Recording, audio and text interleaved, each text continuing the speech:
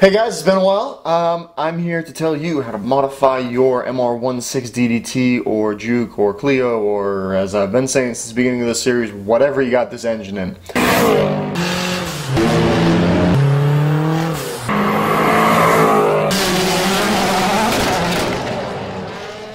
So today we're going to be talking about intercoolers. Um, I know the efficiency video I did a couple videos ago kind of degraded into a talk about intercoolers. Um, and I actually was reserving all that topic for this video, but we're going to go in a different direction. Uh, we're going to talk about kind of intercooler sizes. So if you want to talk about uh, the difference between side mount and front mount, which is more efficient, you can go ahead and check out the efficiency video, and that kind of covers all that. So in this video, we're going to talk about how the size of the intercooler, along with the location of the intercooler, affects uh, how your turbocharger performs. So basically, your intercooler is what cools the air that goes into your engine after it goes through your turbocharger. As air compresses, it gets hotter, your turbocharger is hot, those compressor blades create heat, they heat up the air, the compression heats up the air. So you got to cool it down with the intercooler. Now your standard size intercooler um, is designed from the factory to work. It's designed to be mass produced cheap. It's designed to maintain a certain threshold that the, the factory deems acceptable. Um, and it's not really made for much of that. So if you're looking to get performance out of your car, uh, typically the factory setup is just not going to work. It's, it's pretty close to being maxed out as far as flow rates go and as far as effectiveness goes. So you're going to want to change your intercooler. So we, again, efficiency video, we discussed why that is. Let's, let's, let's talk about size of intercooler. Now if you're going to maintain a side mount factory location intercooler on this car, you know, that is your choice. As I mentioned in the efficiency video, it's not the best. There are a couple of options out there. There's uh, two different options actually out there. I'm not going to start naming names. It's just not what I do here. They're bigger, so they will flow more air. Yes. They're made out of better aluminum, so they will cool better. Yes. Is it better than stock? Yes. Is it best to make horsepower on? No. The factory intercooler location does allow you to run minimal amount of plumbing with an air-to-air -air intercooler, um, so it's going to reduce the amount of air that your turbocharger has to compress in order to make actual boost pressure. Uh, so that's that is a, a plus side on that. Now because of where the factory intercooler location is, you're kind of stuck in a certain set dimension as far as width goes. So what they do with the aftermarket ones is they make them deeper. Now deeper is good. Um, it's it's more area uh, that can absorb cool air coming from the wind. Uh, it's more uh, area to increase the flow rate, the amount of air that can actually get through the intercooler. Um, so it, it is helpful in that sense. Um, the only downside with being thicker and where it is is the backside of the intercooler, if it's not receiving a good amount of airflow, is going to heat soak a lot faster. So say you're sitting at an idle for 20 minutes for some reason, and when you start driving, it's going to take that little extra time for the intercooler to cool down the back of it as compared to the front. Makes it not as efficient, but if you're driving around, it's going to, you know, be pretty uniform across front and back in that lower part that is getting cooled. A side mount intercooler can't be too big. Like I said, you're very limited in your dimensions by where it is. So the size thing, we're not really going to talk about with that. When we get into front mount intercoolers, you can have too big of a front mount intercooler.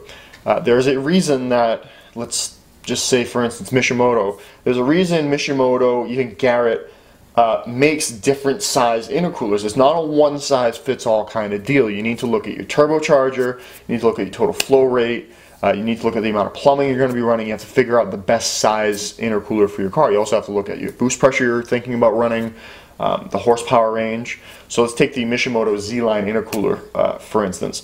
That intercooler is rated to 20 psi where it's effective. So when you're at 20 psi, no matter what size turbo you have, you're kind of at the top of its effective cooling range, meaning it can't flow the CFM through it enough to cool the air. Instead, that air is going to kind of sit there and it's going to warm up the cooler, and you're going to start to have the opposite effect that you want out of an intercooler, and the air temps are going to go up. To get around that, if you're running 20 psi and that intercooler seems a little too small, then you go to the next size up. Um, that intercooler is rated to, to whatever.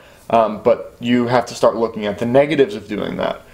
Is it worth it going to a bigger intercooler if you're A, not getting full flow to the intercooler? If you look at the front end of a Juke or a Pulsar, you only have about that much air that's coming through that front bumper.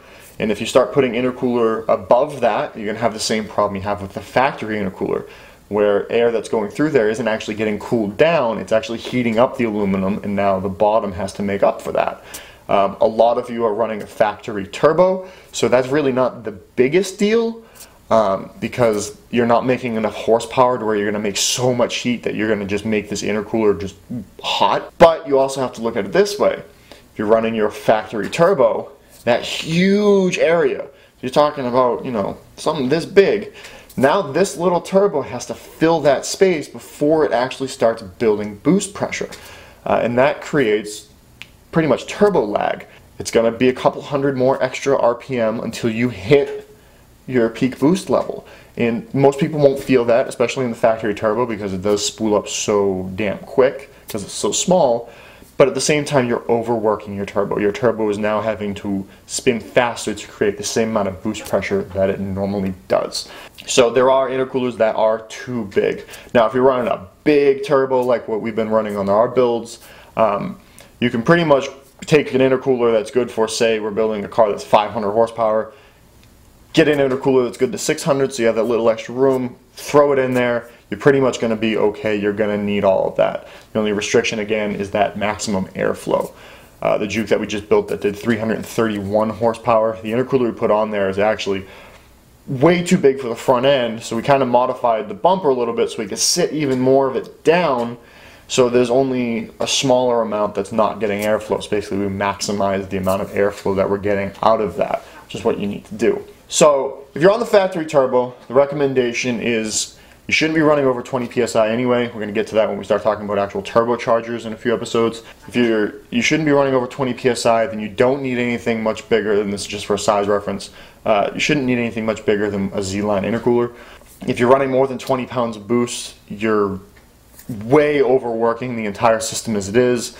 So if you put a bigger intercooler on there, you're going to be overworking that turbo even more. You're going to be affecting the life of the turbo because the bearings are now going to wear out faster. So your intercooler is a lot more important than most people think. You you really have to take into consideration what you're doing with the car. If you're driving the car around every day on a factory tune or even just a, you know, a, a mild tune where you're running 15, 20 more horsepower, you don't need this big intercooler.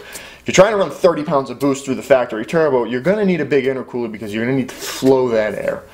And, and that's kind of the, the big thing. So there are, there are intercoolers that are way too big for this car. Like way too big for all the reasons that I just mentioned. If you want to make your own intercooler, I did a whole video on how to do that. If you order all the parts yourself, you can do the whole intercooler for under 250 bucks. It's a tested method. I run the exact setup on my car. Um, I've installed it on a couple of my local friends' cars. Um, when I had Mass RP, I used to sell basically the same kit. We did 267 all-wheel horsepower on one with a big turbo, actually this size turbo right here. Um, it was way at the top of that intercooler's effectiveness, so it did need to go a little bigger, but it did it. Um, I mean, it's, it works. There's no need to run a bigger intercooler than that if you're on a factory turbo or if you're under 250 horsepower. Really, if you're under 300 horsepower.